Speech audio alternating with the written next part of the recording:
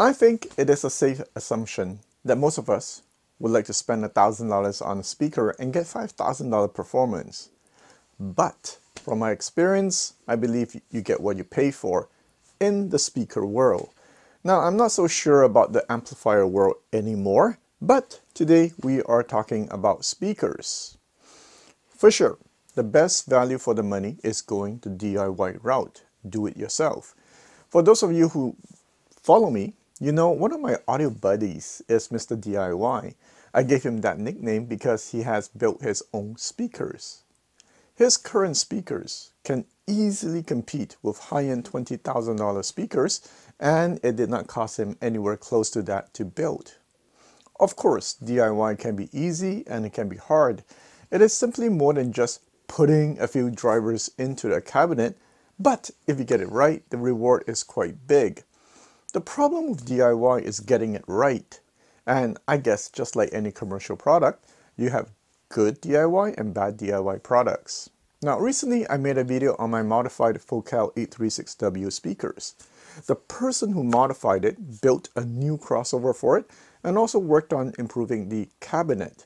The end result is you have a speaker that although originally cost $4,000 can now compete with $10,000 plus speakers. So the idea of DIY and modifying speakers has always interested me. Now, when Creative Sound Solution reached out to me asking if I would be interested in reviewing their speaker kit, I was extremely excited because I wonder, would I get $4,000 performance by spending only $1,500? I requested their top of the line Criton 2T-DX speaker and the idea behind the company is you get a kit and you build the speakers yourself, which as a result saves you a lot of money. After all, you save on the labor. Now, before I go into the main topic, let me tell you a story. There was one email I got from CSS that was very interesting. They told me they have this client that told them at times that client would prefer his CSS speaker with a subwoofer over his Wilson Sabrina. For those of you who don't know, Wilson Sabrina, these speakers are over $10,000. I reached out to the client, which happened to be a subscriber of mine, and the email I got from him was very special. He sent me some photos and told me why the CSS speakers are special to him. He has built it with his children, and he wanted to teach them they can get good stuff, good quality stuff, too, by building it themselves. You don't always have to buy commercial finished product to get the good stuff. As a father myself, I can appreciate the lesson. Now, this exchange was done before I received my speakers. So at the time, I have not yet heard the CSS speakers, but in my head, I was telling myself there must be something special with these CSS speakers. Now the logical me knows that I don't expect an affordable speaker to outperform a high-end speaker. Well, objectively. In that sense, my expectations were realistic and I had a theory. And so once I power up the CSS speakers, I was like, oh, I see. So today let's talk about the Criton T2T DX speaker.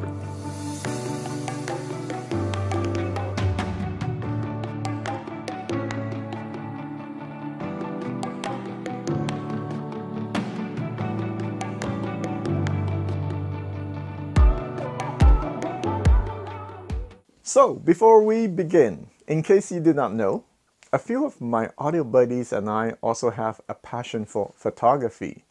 In case being an audiophile has not drained your wallet dry, and you are looking for another hobby, another expensive hobby, you can give photography a try. The reason I'm mentioning this today is that the sponsor for today's video is Skillshare. Yes, I get to earn coffee money. Skillshare an online learning community where millions come together to take the next step in their creative journey. With thousands of inspiring classes for creative and curious people on topics including illustration, design, photography, video, freelancing, and more. It's curated specifically for learning, meaning there are no ads, and they're always launching new premium classes so you can stay focused and follow whatever your creativity takes you. Now, given I am interested in photography, I took a look at their courses and I found this course from Jessica Kobesi, which was quite interesting.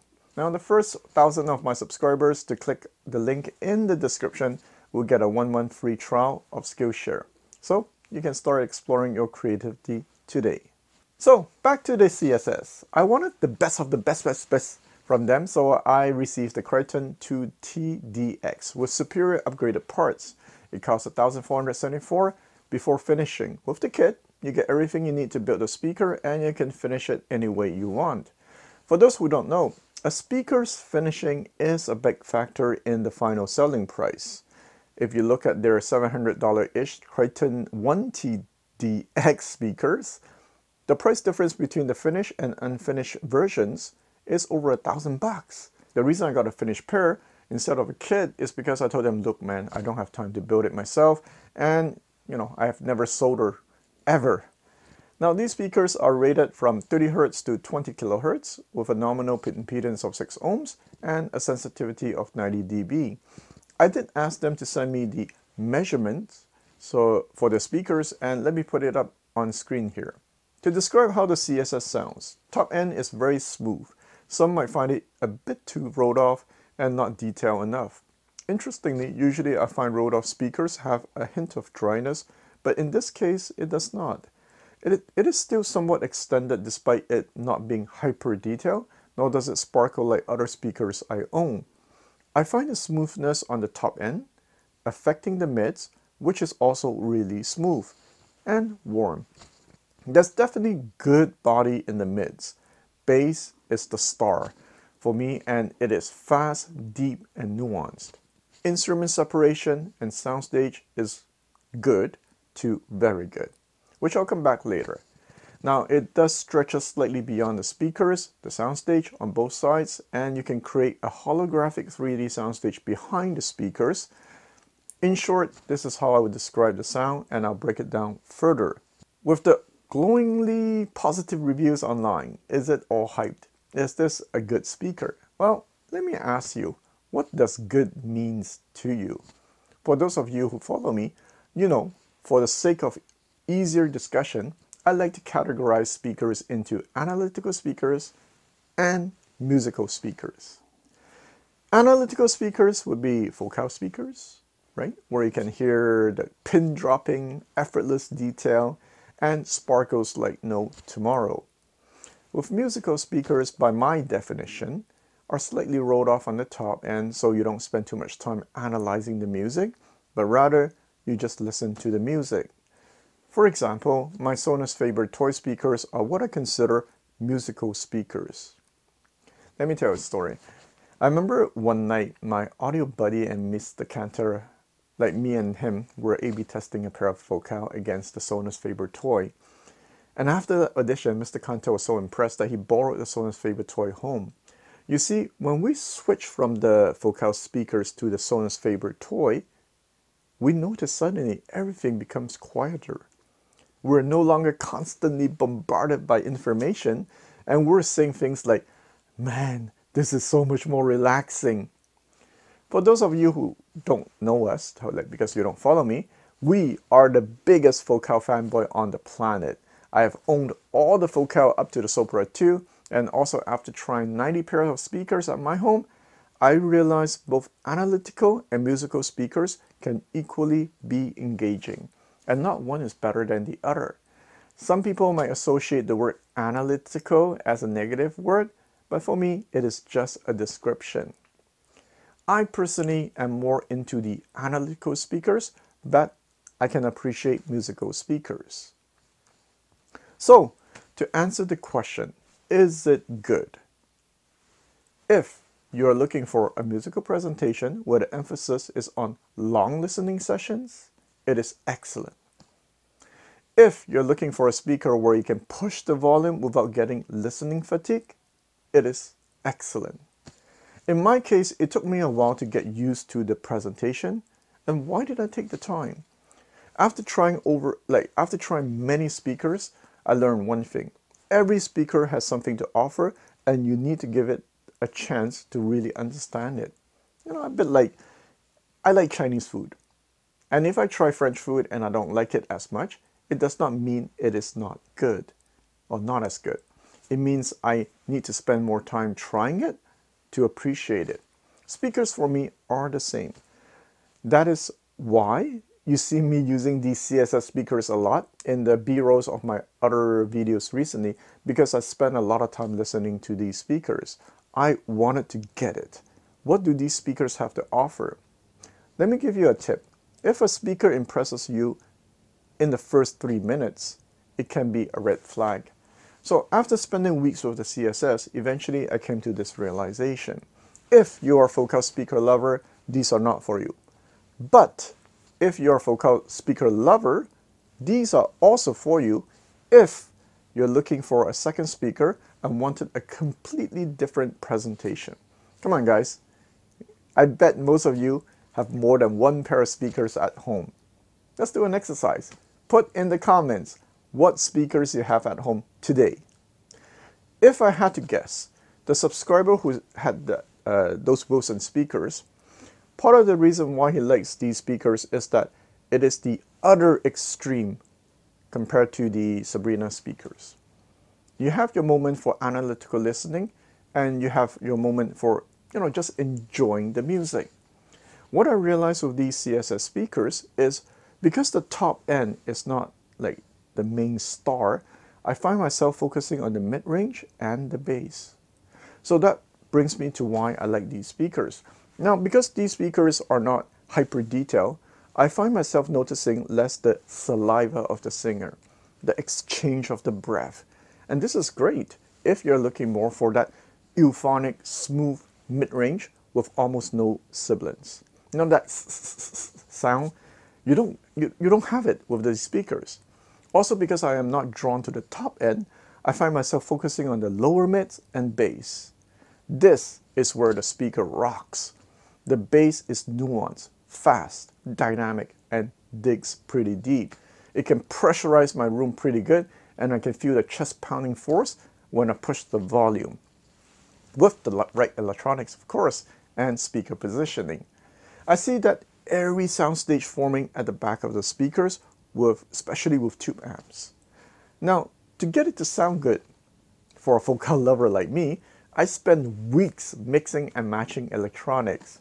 If there's one negative I can say about these speakers, this is a smooth sounding speaker, so you need a bit of volume to bring it to life.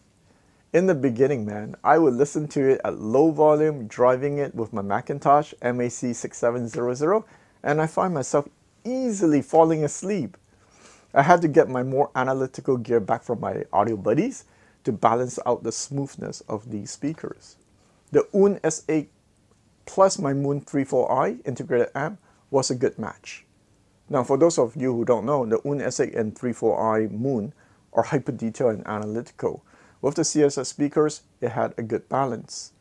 Another good pairing is the Willsenton R800 plus my Exasound E28 DAC with the JCAT linear power supply plus Stack Audio Link 2 network bridge. The key with that pairing was the Stack Audio because that streamer does wonders to transient and leading edges. I, well, I use it not as a streamer, but I use it as a reclocker and a USB jitter remover and it brings a lot of clarity to the presentation. Now I'll review it someday and guys wait for that review. Fantastic with the CSS speakers. Finally, the same setup as the Willsenton R800i but with the Doge 10. That setup is OMG. With my modified Doge 10 running KT120 tubes, the bass was fast, controlled, strong, dynamic, and detailed.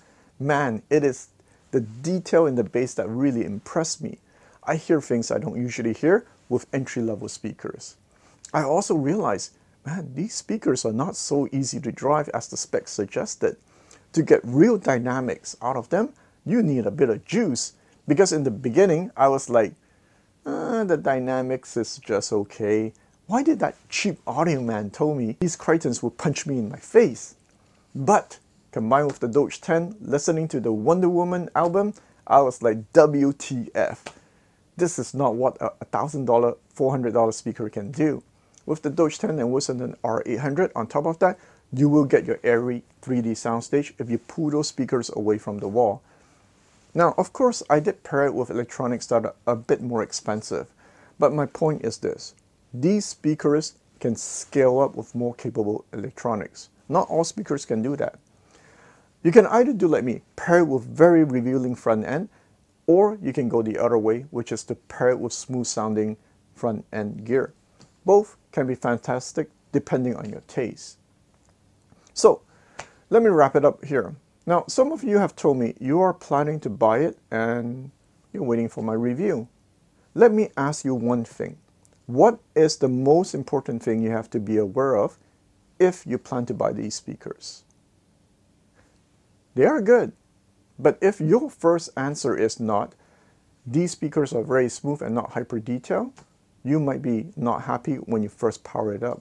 You must really understand this point. For me, this smooth sounding characteristic is a very good thing if this is what you're looking for. So don't buy it just because many YouTubers say it is good, but because this is what you want in a speaker. Hours of listening. Never have to worry about listening fatigue. Not many speakers go for this kind of voicing these days, right?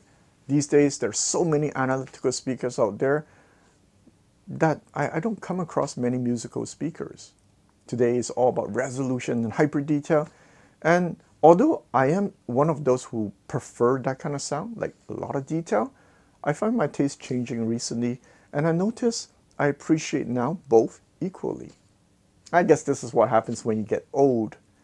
One final thing I have heard from a few people that CSS gives excellent customer service. And I think this is one thing worth calling out. And with that said, I think that's it. I will see you next time.